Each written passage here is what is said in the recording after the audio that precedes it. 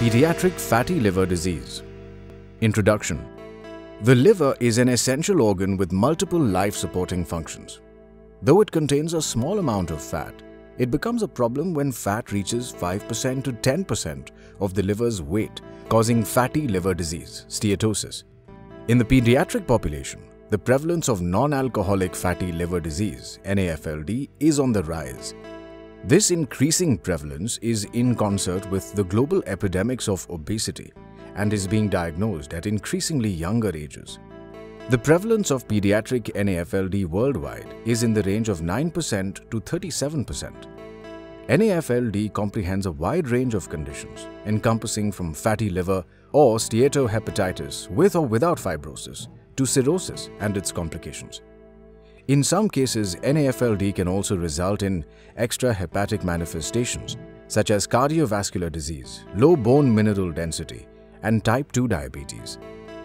Risk factors and causes The risk factors for pediatric NAFLD are similar to those observed in the adult population. Common risk factors include metabolic syndrome, METS, essential hypertension, type 2 diabetes mellitus, dyslipidemia, central adiposity, hepatitis C.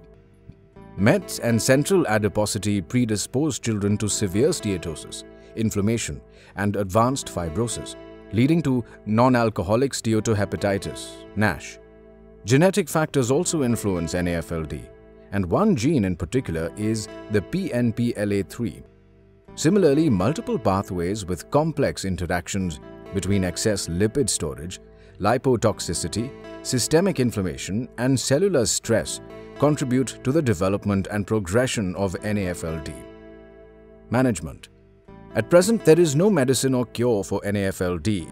However, eating healthy, getting regular exercise, and managing weight are the key points that help prevent the progression of NAFLD into a more severe condition.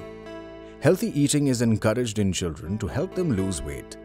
Foods rich in fiber and whole grains are emphasized, along with teaching the child to resist cravings for sugar-loaded foods. A weight loss of 10% has been shown to improve the liver condition. Regular physical activity, at least 3 to 5 times a week for 30 minutes each time, is necessary. Studies suggest the benefits of taking vitamin E and antioxidants.